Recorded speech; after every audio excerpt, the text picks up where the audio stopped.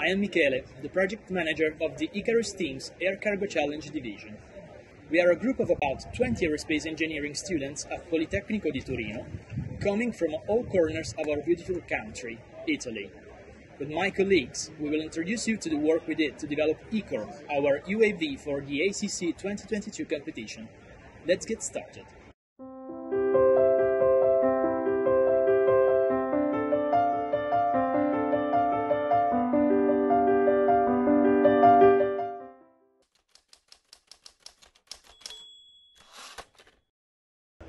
When the regulations for the ACC competition came out, we realized that they were very different from the previous ones. We needed to understand what a successful design looked like in this new edition. That's why we developed a simulator that generated many plane designs, considering structural, aerodynamics, and flight mechanics properties, and then made them compete against each other in a virtual race with the same scoring system as ACC 2022. We discovered that the best design should minimize the frontal area while maximizing the carry payload. We suspect that this is a result of the low density of the new payload, the blood bags, as compared to the metal plates that were used in previous editions. Our analysis led us to steer away from the pod solution that was so successful in 2019, and it led us to the current design of ECOR. ECOR has a taper wing with a wingspan of 2.4 meters. Its empty weight is about 1.8 kilograms, and it is designed to carry 2.4 kilograms of payload. ECOR is characterized by a traditional configuration with a low wing and a T-tail, and its skin is entirely made of carbon fiber. The fuselage has a top opening to allow for the loading of the blood bags. Our strategy for the competition didn't only involve the, uh, the design, but uh, also the flight envelope. Once an initial plane configuration was set, we developed a script to analyze the best possible flight path. This was helpful for the pilots to understand the maneuver involved, and for the flight mechanics division of the teams to understand the requirements on maneuverability and controls.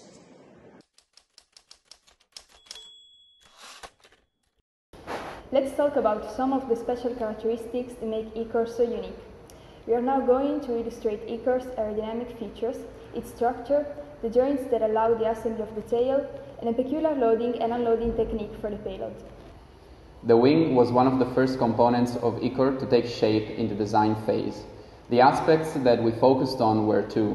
One, we wanted to maximize the wingspan and the aspect ratio, and second, we wanted to have uh, two semi-wings that would fit into the transportation box without additional sectionings. As a consequence, a simple trapezoidal shape was chosen for manufacturability reasons. The airfoil is a custom one based on the AH family.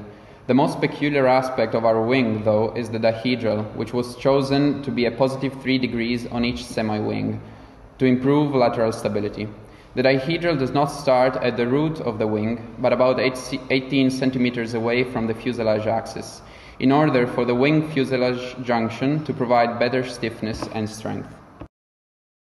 Another distinctive aspect of our plane concerns the structural project, especially the wing. The structure of ECOR's wing is such that stringers and spar caps are embedded in the skin of the wings. The two spar webs, instead, are kept as separate elements.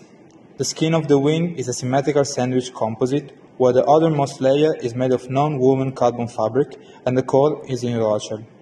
In between these layers, there are two narrow stripes of unidirectional carbon fiber, matching the two spar webs. ECOR's mission is to provide medical aid to locations where the airfield may not be ideal. Uh, we could not risk ruining any components during takeoff and landing, and that's why we opted for a T-tail. The T-tail keeps the horizontal stabilizer far from the asperities of the ground, even though the structural design of the junctions of this kind of tail is more challenging. Not only this, but the regulation limitations imposed by the rhombus also made it challenging for the flight mechanics team to design a horizontal stabilizer with, at the same time, sufficient surface and tail arm. We did not let ourselves down and we came up with a solution that, during our flight tests, proved to be successful and effective. The single-wheel landing system is a distinctive feature that we have introduced for the first time with this new model. It consists of a short-wheeled leg and a tail skid, plus two appendages installed below the wing. The solution is somehow more difficult to design and install than a classic two wheels gear because it requires an accurate fine tuning. However, in spite of its cumbersome setup, the single wheel shows lower weight, friction, and aerodynamic drag, but also a higher stability, which are some useful perks if the aircraft has to take off from rough surfaces. And for this air cargo challenge, one last peculiar feature is the cargo. Icor, having to carry blood bags, takes its name from the fluid contained in the blood of immortal creatures. Icor carries around nine blood bags in its fuselage. The bags are held together by a string of Velcro, which also maintains them fixed to the, to the fuselage of the plane, preventing them from moving around. This system also allows us to attempt the fast loading and unloading of the payload, which we know can represent very valuable points to, in the competition.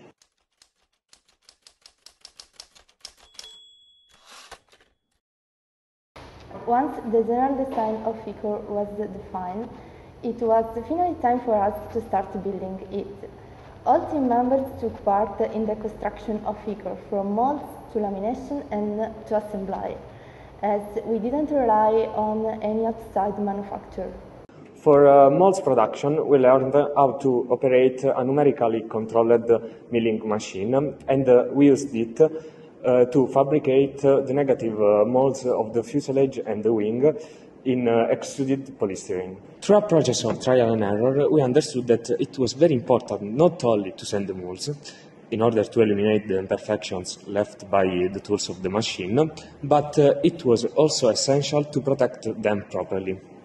We learned to make uh, the molds impermeable so uh, that aggressive uh, substances uh, will not um, ruin them. We also um, uh, the molds with the specific chemicals so that they don't get damaged after the removal of, uh, of the components. For uh, some components like the tail, we used uh, positive molds with the peculiarity that uh, they remain embedded inside the final pieces. In order uh, to create the positive molds, we assembled our um, very own hot wire foam cutter and then we used it to cut uh, polystyrol in uh, the desi desired shape. Once molds are perfect, we are ready for laminating our composite components. This operation isn't easy at all and must be carried out with great accuracy, since each composite part is key for all structural properties. When the resin is dry and we open the vacuum bag, we separate our components from their molds very carefully trying not to damage or destroy anything in the process, especially molds. And that's how we manufacture our components. Among the most recently introduced technique for the construction of Icor, laser cutting is the one that allows us to save a lot of time with better precision than performing by hand. In fact, this machine is able to cut quickly and with tight tolerances a wide range of materials such as balsa or poplar. In the video, you can see the laser in action cutting the internal reinforcements of the wing, fundamental components for obtaining good structural behavior while preserving the lightness of the aircraft. Finally, one of the assets we relied upon in every edition, additive manufacturing. This technology is unrivaled when it comes to building complex shapes with a good surface finishing. In fact, we used it to produce components like the wing fuselage fillets and the winglets, which will be nearly impossible to produce by hand. The interest in additive does not end with the aerodynamic features. Another area of interest is the landing gear, where we are planning to develop a 3D printed wheel which could fit perfectly with the weight and takeoff constraints.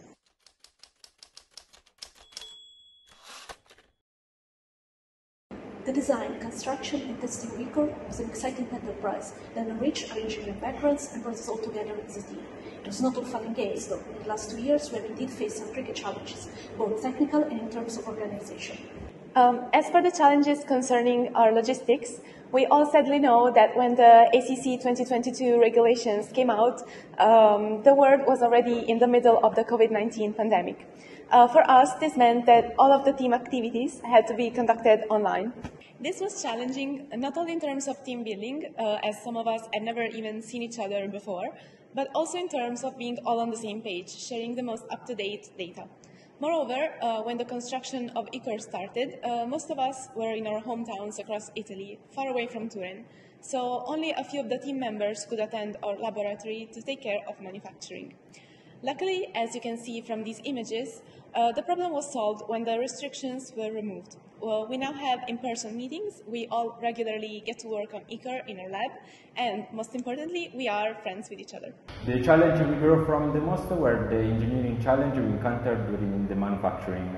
Uh, one of the aspects we struggled with the most was dealing with uh, foam cores such as uh, Rohacell and Airex. This was the first time uh, that we experimented with uh, closed cell foams and uh, we know much about the, the structural advantages they carry, but we were largely unaware of many challenges posed by their shaping. We didn't let ourselves down, and with a lot of patience and creativity, we managed to find a way to form these forms into the shapes of our foils and fuselage. We can wait to discover if uh, overcoming this manufacturing challenge can turn into the age against our competitors.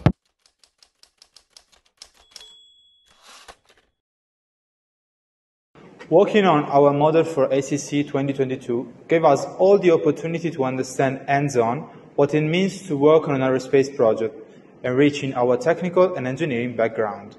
It is from the challenges we faced that we learned our most valuable lessons, which have been useful to improve our methods and which we will apply in our future projects. One of the things we learned is the importance of taking manufacturability into account during the design phase. For example, our original design for the landing gear prescribed a sandwich structure with an Airex core and exterior carbon layers. It was frustrating to see that no matter how much care we put into our manufacturing technique, our product just kept getting delaminated. We ultimately realized that the reason behind our failures was the incompatibility of our master mold with the chosen composite. We then developed an upgraded version of our landing gear and lamination finally had a positive outcome we learned how crucial it is to design a component while always keeping in mind how that component is going to be constructed. And this is something that we will always keep in mind in our engineering careers. Our experience with the landing gear also taught us that simplicity can go a long way. It is obvious that it is impossible to absolutely replicate the perfection of a CAD in a physical component.